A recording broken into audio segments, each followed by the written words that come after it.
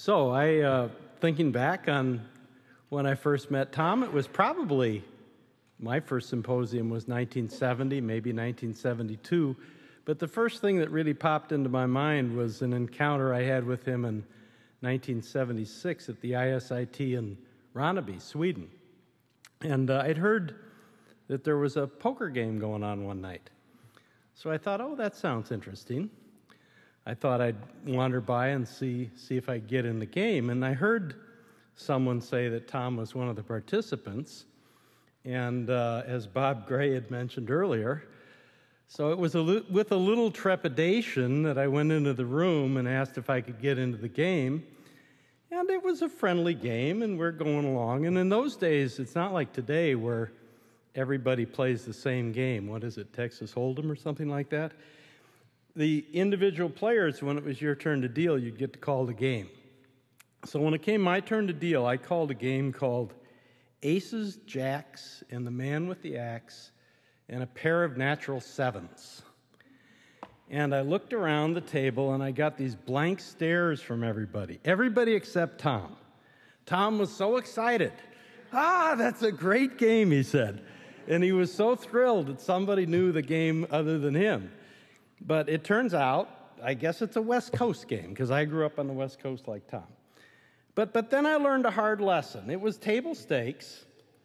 And uh, so that meant that you could only bet against an opponent what he had on the table. So I had a pretty good hand coming along, and I was betting against Tom, and I had a very good hand. And I looked at his up cards, and I couldn't figure he was going to come even close to me. And I, so I kept, you know, he kept raising me. I said, well, he's just bluffing. He's trying to get me to drop out. So I'm going to stay in. And he raised me all the way up to what I had in the table, which was the limit. And uh, so we show the cards, and I win. okay, geez, I beat Tom Cover. And then we go around a couple, few hands later, it comes up, same situation again. Now, Tom, of course, pulls more money out of his pocket. So he's, he's still in the game, and we're going along again, and same situation. I get another very good hand, and, and uh, Tom's betting against me, and I'm, okay, well, uh, I'm going to keep betting. He's not going to bluff me. Didn't work last time. And sure enough, he calls, he, he bets everything I've got on the table, so it's a big pot show the cards, I win again. I said, Boy, this I'm on a hot streak. So Tom pulls more money out of his pocket, and we keep playing, and a little bit later, same situation comes up again. This time I might not have had such a good hand, but I was a little cocky by that time. So we're betting back and forth, we're betting back and forth, and of course the the story ends that he again bets everything I had on the table, which was quite a lot at that point, and he wins.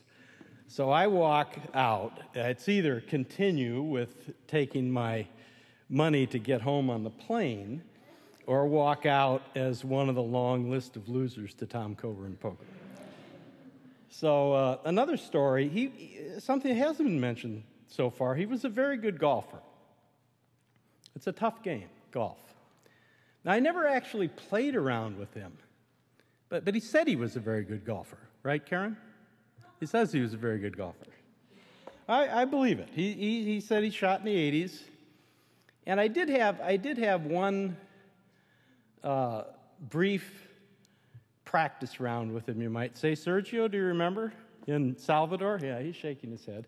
So there was a little practice hole at the ITW in Salvador where it's maybe a 100 yard hole or something. They had a few the high irons laying around there. And Sergio and Tom and I went out there, and there was a, there was a nice green, and there was a little pond on one side and a little sand trap on the other side. So we each took our our turns, and I would I got up there and hit the ball in the pond, and Sergio got up there and hit the ball in the sand trap, and Tom got up there and hit the ball in the green. And this went on constantly after about 45 minutes, and then he wanted to bet, so that was time to time to end it.